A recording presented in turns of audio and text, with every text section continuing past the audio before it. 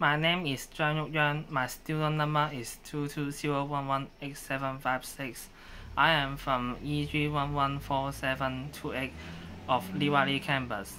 Today I'm going to show you one of my skills. One skill that has a big impact on artificial intelligence is programming. I will demonstrate this skill with an app later. I acquired this skill in September this year while studying for an advanced diploma at VTC. Now I'm going to introduce to you an app. C Sharp is an object-oriented programming language derived from C and C++. It inherited the powerful functions of C and C++ while removing some of their complex features, making it an efficient and powerful programming language.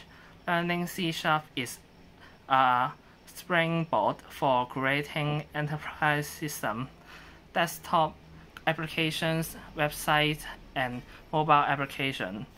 Of course, now I'm a beginner and only have some simple programs, but after learning I hope to make a small game by myself soon.